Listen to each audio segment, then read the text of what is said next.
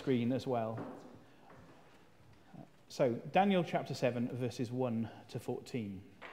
In the first year of Belshazzar, king of Babylon, Daniel had a dream, and visions passed through his mind as he was lying in bed. He wrote down the substance of his dream. Daniel said, In my vision at night I looked, and there before me were the four winds of heaven churning up the great sea. Four great beasts, each different from the others, came up out of the sea. The first was like a lion, and it had the wings of an eagle.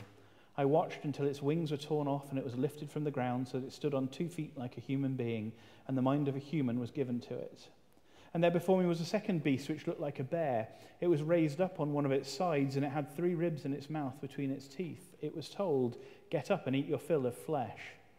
After that I looked, and there before me was another beast, one that looked like a leopard, and on its back it had four wings like those of a bird.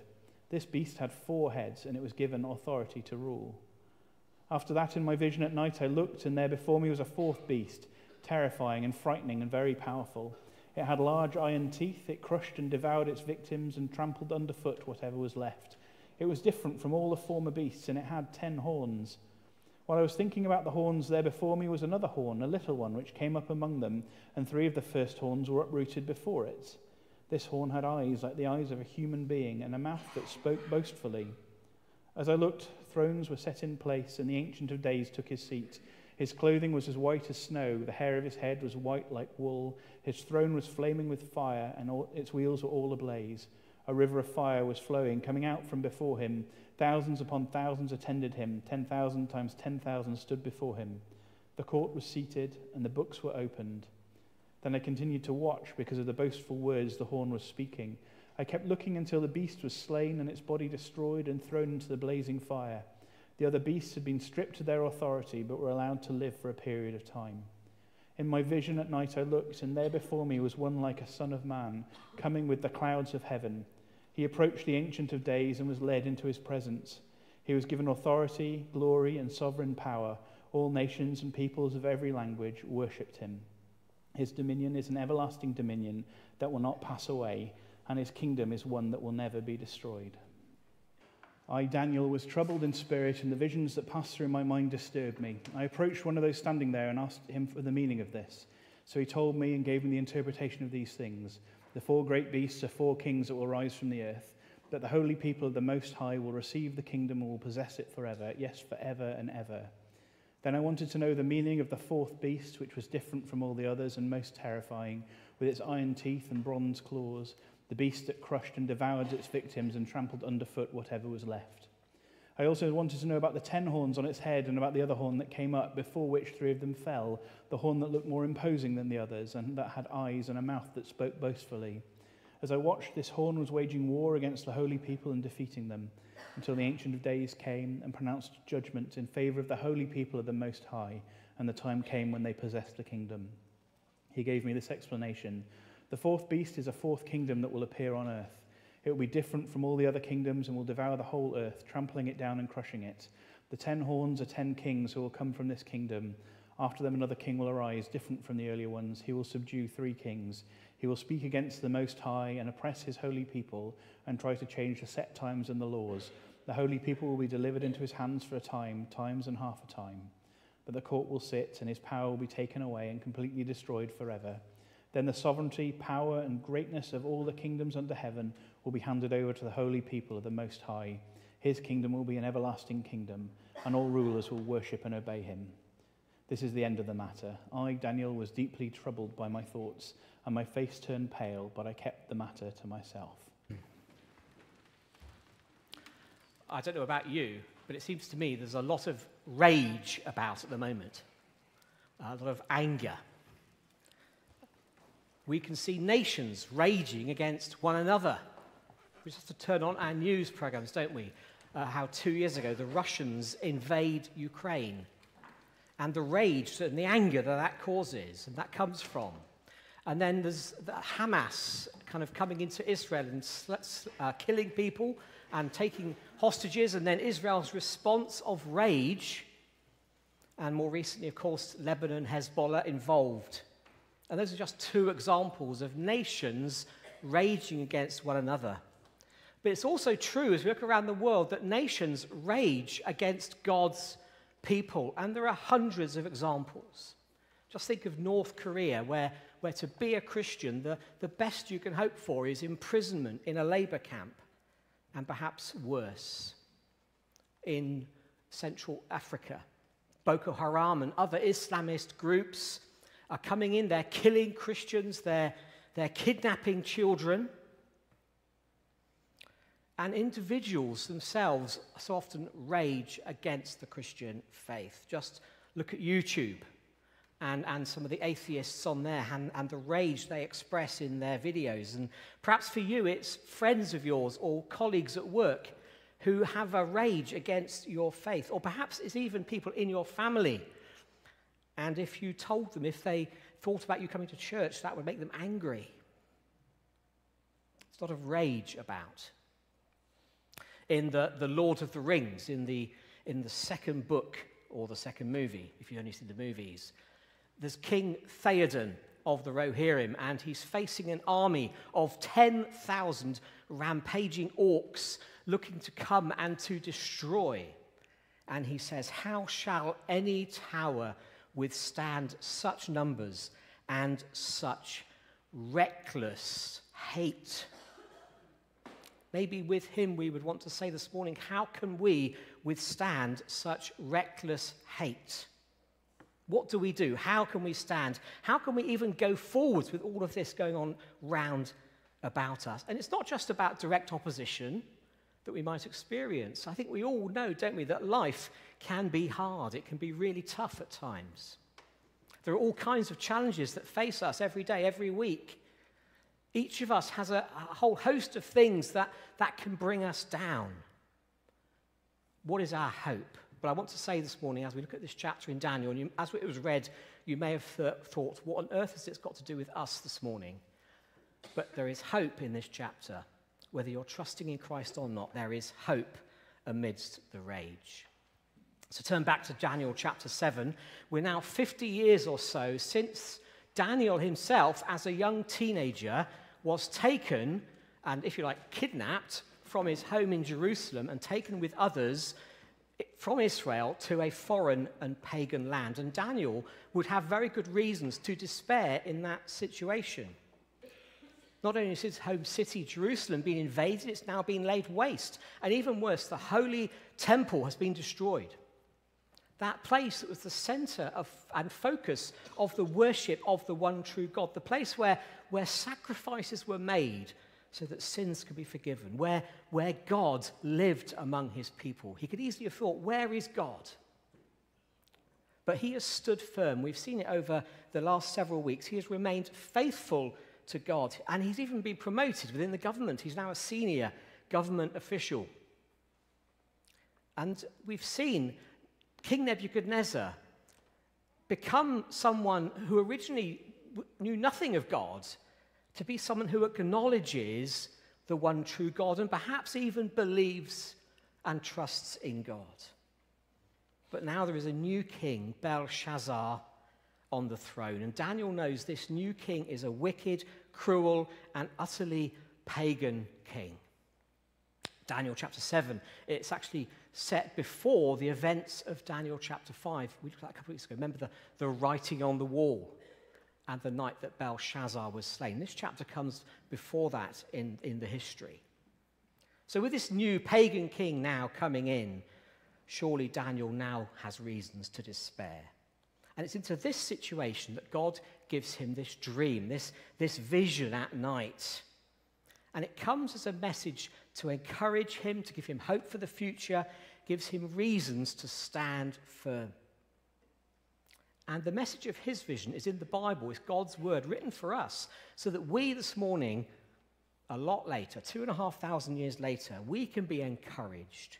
We can have hope now and for the future that we can stand. Now, I don't know about you whether you have weird dreams. I won't tell you any of my dreams, they're pretty too weird to express. But we have weird dreams sometimes. But this dream is really weird. I get you got that as we read it through, didn't you? What on earth does it mean? Well, thankfully, the chapter tells us what it means. The main message is quite simple. It's there in verse 17 to 18. The four great beasts are four kings that will rise from the earth, but the holy people of the Most High will receive the kingdom and will possess it forever. Yes, forever and ever. So, the first thing we see from this dream is that beastly kings rule.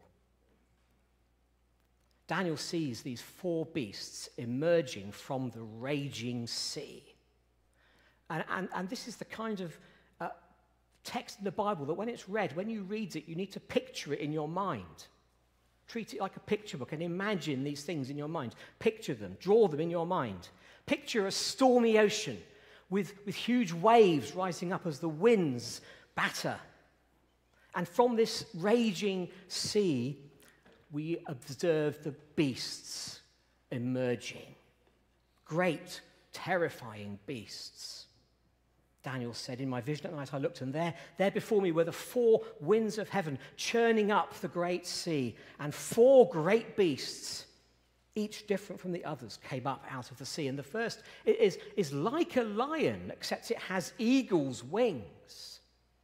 Until its wings are torn off and it changes into a human being. It's, it's given the mind of a man.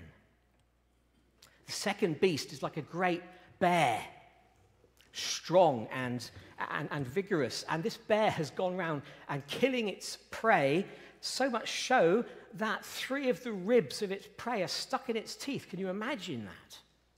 This is not a chicken bone, it's ribs stuck in its teeth. And the third is, is like a leopard and the leopard with four wings, a speedy, voracious predator. And it has four heads. It can see, it can observe, it dominates every direction of the compass. And if that wasn't bad enough, the fourth beast is, Daniel says, terrifying and frightening and very powerful and can't be compared with any earthly creature. It's more powerful, much stronger, more frightening than any of the first three. And it crushes and devours its victims with its iron teeth and bronze claws and tramples the broken remains of its prey underfoot until it's completely destroyed. What does this vision mean? We've seen already, Daniel's been told the basic meaning of the vision. These four kings are maybe kings or kingdoms, are earthly kingdoms with powerful rulers who will come in, in, in Daniel's time. And then we're going to have a very brief history lesson. If you don't like history, don't worry, it's very brief. And it also has pictures. Uh, so hopefully you'll be able to keep up while we very briefly look at the history of the period. In 605 BC, there's King Nebuchadnezzar. In 605, he conquers Jerusalem. And he takes Daniel and the others into exile, and the Babylonian Empire that you can see there as that, as that moon shape rules over the western part of the Middle East. Meanwhile, beyond Babylon, there's a kingdom called Media. And in 550 BC, a man called Cyrus, who is king of Persia, through conquest of other nations, he is announced to be the king of kings of the Achaemenid Empire, which includes Media until in 539 BC, he conquers the Babylonian Empire, which we read about in Daniel chapter 5. And now King Cyrus rules over the Persian Empire, sometimes called Medo Persia or the Achaemenid Persian Empire, normally just called Persia. And at its height, it extends, as you can see, even into Eastern Europe, a mighty empire. But 200 years later, in 334 BC, a man called Alexander the Great, who is the king of Macedon in Greece, he invades the Persian Empire and he overthrows the whole empire in a 10 year campaign that extends even into North India. But he dies a young man at the age of 32 in 323 BC. And after his death, that mighty kingdom is divided into four smaller kingdoms. It includes the Ptolemies in Egypt. So if you think about Cleopatra, you've all heard of Cleopatra, she was a Ptolemy or Ptolemaic. And also the Seleucid kingdom, which is that larger area, the largest part of the original Greek Empire. And Jerusalem and Israel, as you can see, are caught in between Egypt and the Seleucid kingdoms, like in being in the meat grinder. They're caught right in the middle. And that's described, that period is described in great detail in, in Daniel 11, that we'll have the privilege of looking at in a few weeks. It's a great story of kings and princesses, recognized as really accurate portrayal of what happens in history. Letitia did ancient history at university, and one of the lecturers, not a Christian, he, he, he would refer to the book of Daniel because it accurately portrays what took place. Although obviously he would deny its prophetical value, we would say that in you know 600 years before, uh, or, or you know, 300 years before these things happened, that, that Daniel sees them in a vision. And particularly, there's a guy called Antiochus Epiphanes depicted there, one of the statues of him. And, and he particularly oppresses the Judah and the Israelites.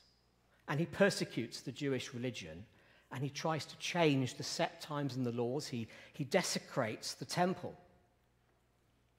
And these kingdoms, this kingdom lasts until in about 63 BC, uh, the Roman invasion happens and, and Rome, the Roman Empire is established.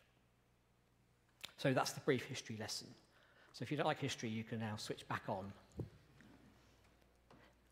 Now, within that historical context, these four kings of Daniel's dream have been interpreted in, in various ways. Uh, the first is universally recognized, the lion, as being Nebuchadnezzar. He's, he's, he's, he's a lion with eagle's wings, but he turns into a human being, which refers back to chapter 4, when remember, in his pride, he was cast down and, and, and acted like, a, like an animal, like a browsing animal. And, and God restored him and he praised God and he, he becomes once more a human being. After that, there's disagreement as to what the other three kings refer to.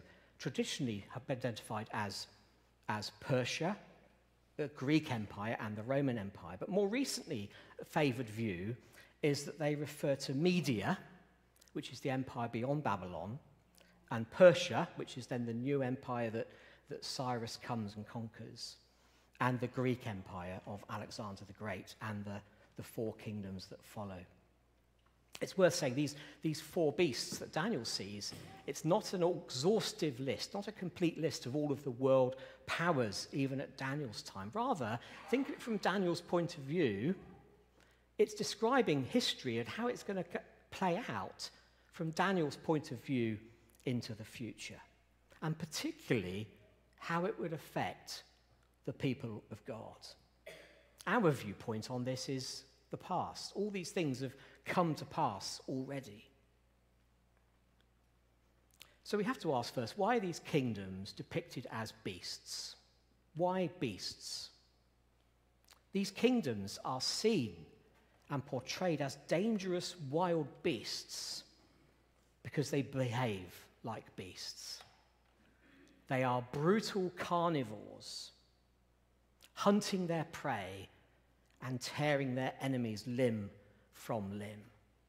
They're depicted as beasts because they are, as it were, no longer human. They're not what humanity is meant to be.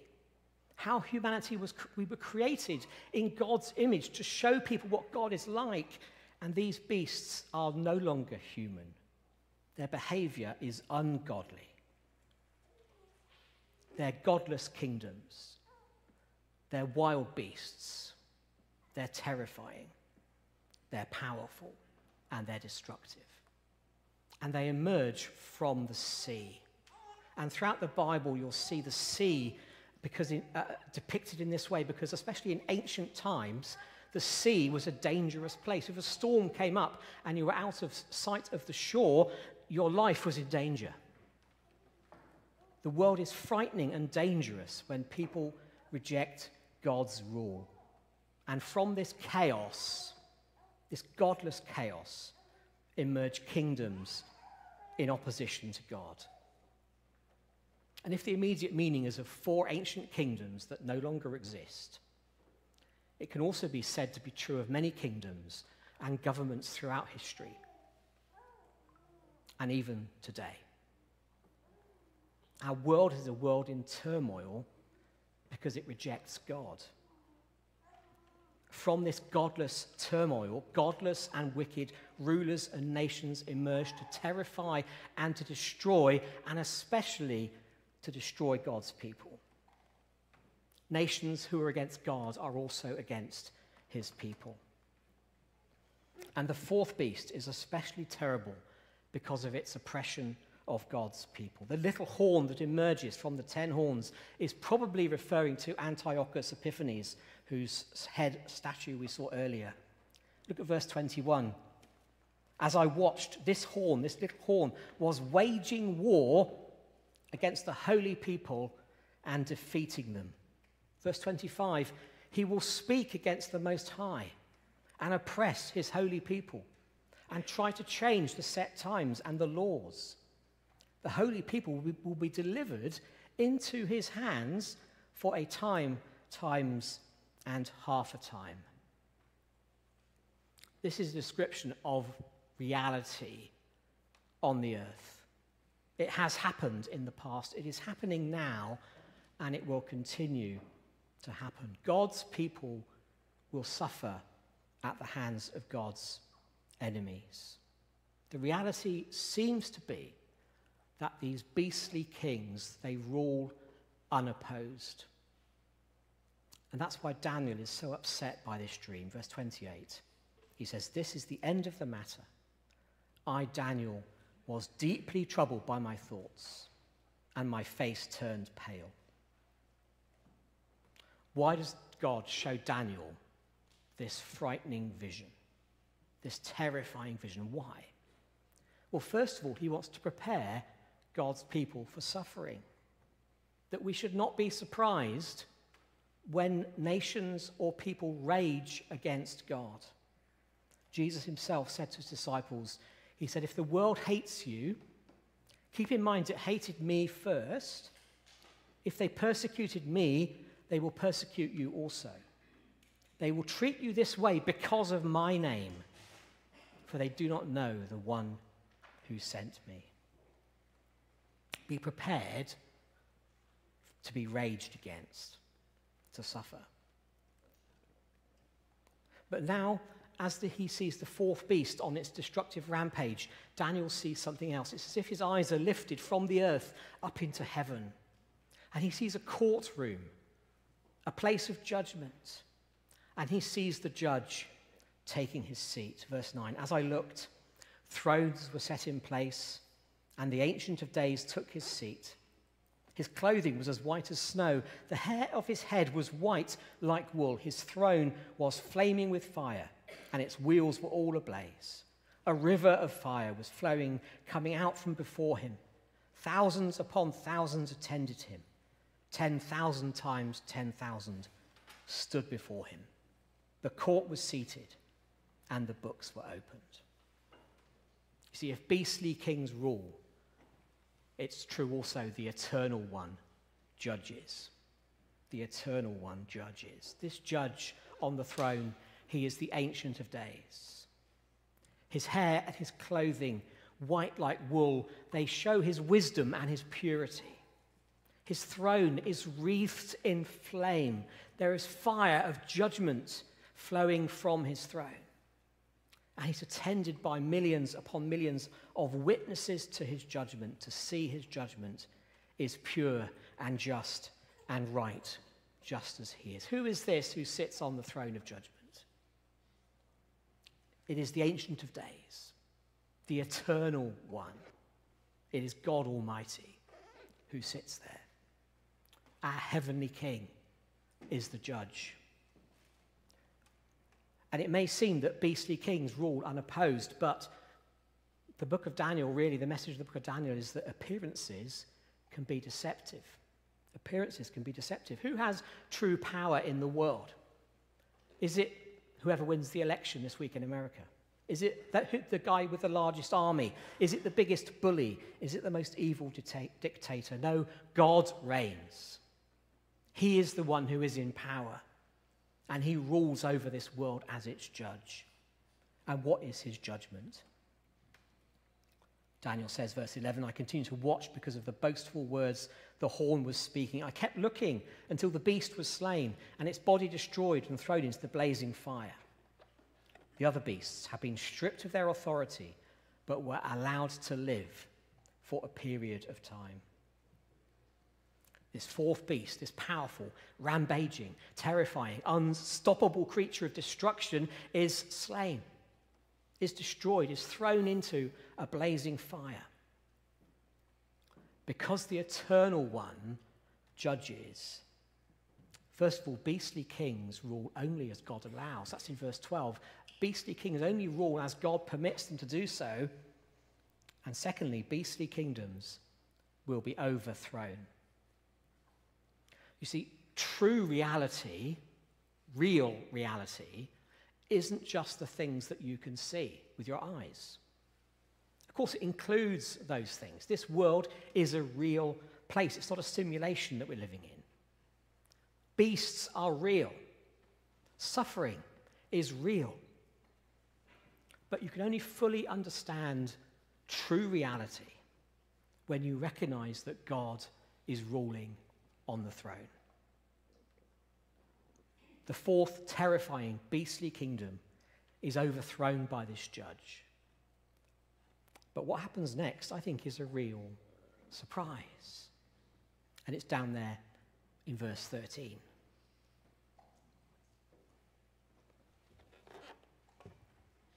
In my vision at night, I looked, and there before me was one like a son of man, coming with the clouds of heaven.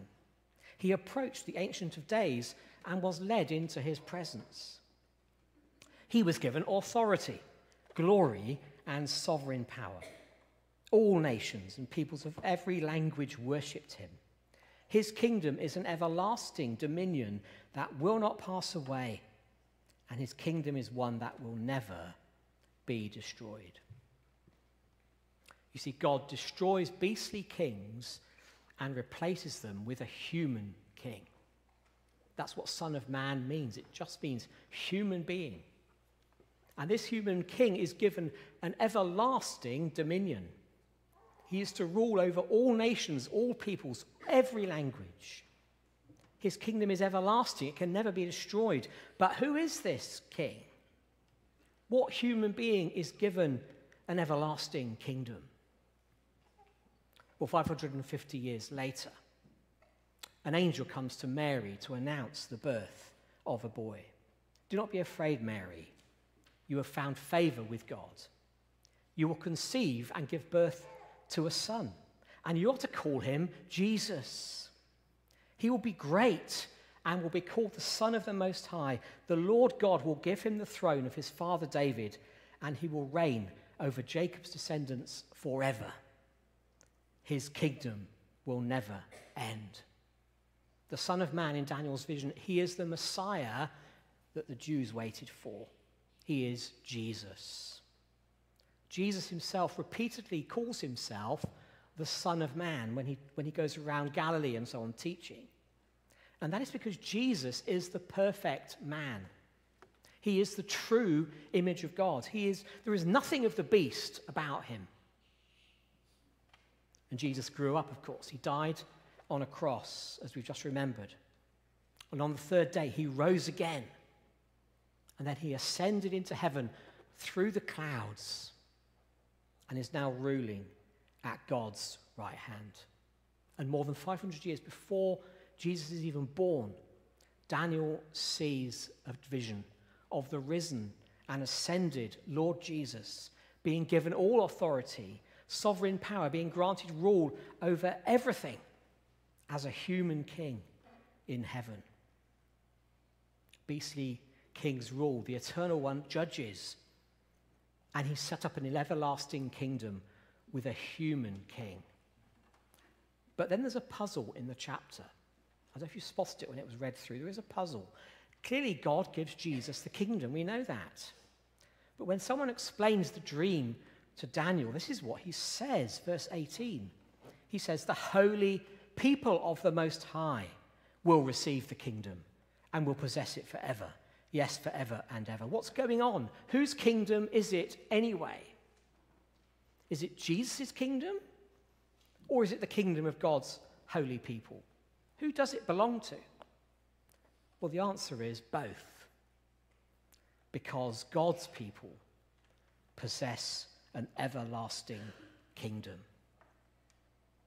The holy people of the Most High will receive the kingdom and will possess it forever. Who are the God's holy people? Who are the saints? Because that's what holy is. Holy means someone who is set apart, someone who is special. But you'll be pleased to know it doesn't mean some special class of the super spiritual Christians who can do special things. The Bible is clear that all believers in Christ are holy people. We are all saints. So we can talk about Saint Summer and Saint Brian and Saint Carol and put your own name there. If you're trusting in Christ, you are a saint. You are sanctified, made holy by faith in Christ. And Daniel's dream tells us not just that Jesus rules as king, but that God's holy people, Christians, that we possess the kingdom. It's repeated again at the end, verse 26. But the court will sit, and his power, that's the power of the little horn and the fourth beast, will be taken away and completely destroyed forever. Then the sovereignty, power, and greatness of all the kingdoms under heaven, in other words, the whole earth, will be handed over to the holy people of the Most High. God's people will possess the earth. And then it says, His kingdom will be an everlasting kingdom, and all rulers will worship and obey him. You see, both things are true. It is both His kingdom, it is Jesus' kingdom. He is the king. And that this kingdom belongs to God's people. Now, as Daniel has this vision, God is showing him the future what will happen as like a single event. Like if you're out rambling or perhaps in the hiking in, in, the mountains and you think, oh, my destination is just there. But you don't realize you've got to come up another hill and then you think, oh, there are three more hills to go over. It's called foreshortening. So Daniel sees it all foreshortened. But now we can look back and see it's not quite that simple. You see, God's everlasting kingdom did come in. Jesus was given the kingdom with when he came the first time, when he ascended into heaven, he was made king. But now we are living in what we call the now and the not yet of the kingdom. There are things that are true now and things that are not yet true. The kingdom has come, it is here now. But we are still waiting for Jesus to appear when he will complete the kingdom and make it perfect. That is the not yet. So, our possession of the kingdom is not just for the future, which we might think of and accept. Yes, I know in the future, but it's true now. But, Jonathan, you might say, it doesn't look like we possess very much. We don't possess the kingdom right now, surely. Surely it's Elon Musk and earthly governments who possess the earth, don't they? Well, let's listen to what Jesus said before he went into heaven. In Matthew 28, familiar verse, you're, you're, if you've been here very long, you'll know this verse. He says this All authority in heaven and on earth has been given to me. He's been given all authority in the whole earth. Jesus is king. And what Daniel has seen in the dream is this it is Jesus in heaven ruling as king. And we read then in 1 Corinthians chapter 15 Jesus must reign until he has put all his enemies under his feet. His enemies are still around, he's putting them under his feet. You see, the fourth beast has been destroyed, but the other beasts were merely stripped of their power and allowed to live for a while. But Jesus is reigning in heaven, putting all his enemies under his feet. But how is he doing that? How is he defeating his enemies right now? This might come as a surprise to you. Jesus is doing that through his people, through you and me, through the church.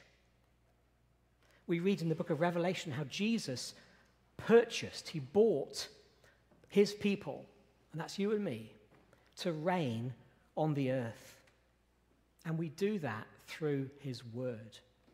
We, his people, we rule the world through the word of Jesus. We do that by living, trusting in Jesus according to his word, following his word not the ways of the world.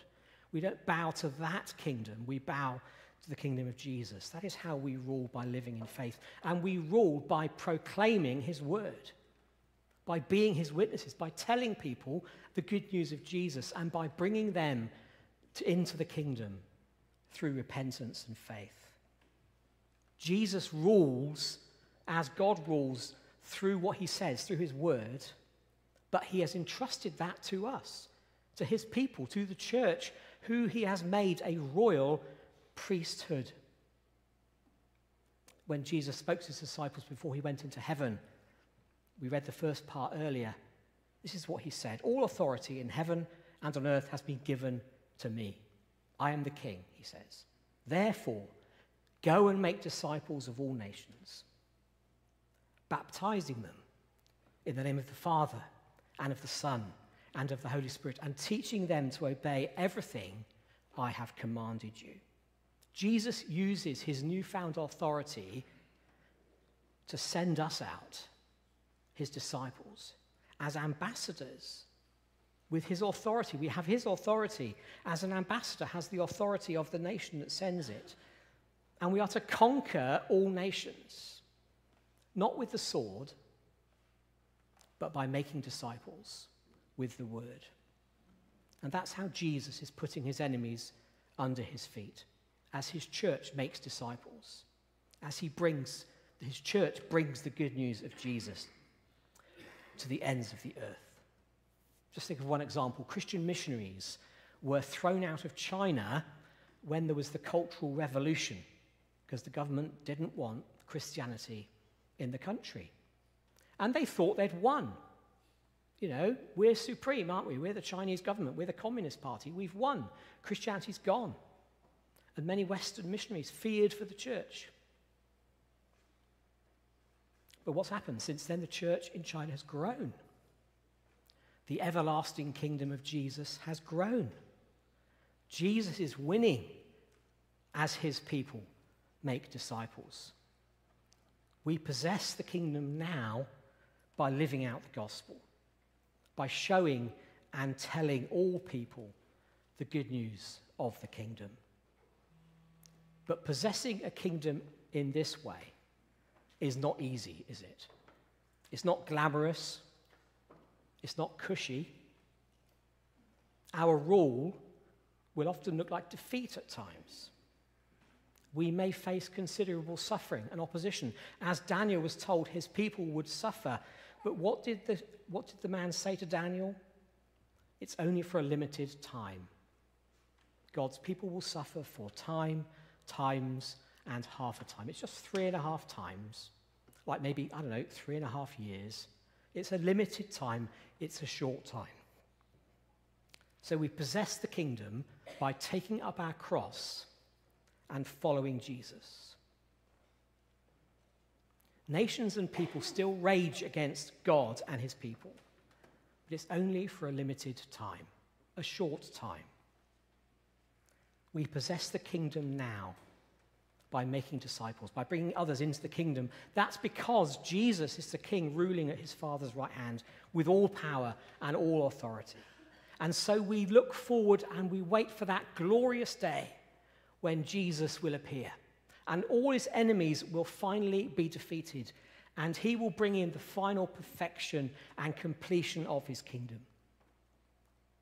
And on that day, which is not yet, we will share with Jesus in this eternal, everlasting kingdom.